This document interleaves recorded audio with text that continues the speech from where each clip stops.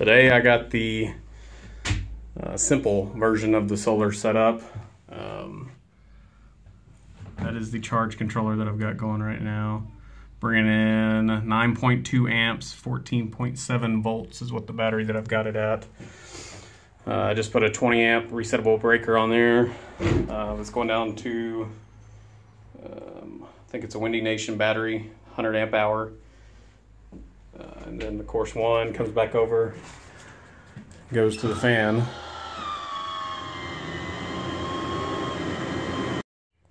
Solar's been going now for probably about four hours. Um, I unplugged my daughter's power wheel and now just have uh, my Dometic fridge freezer combo going. This is a 60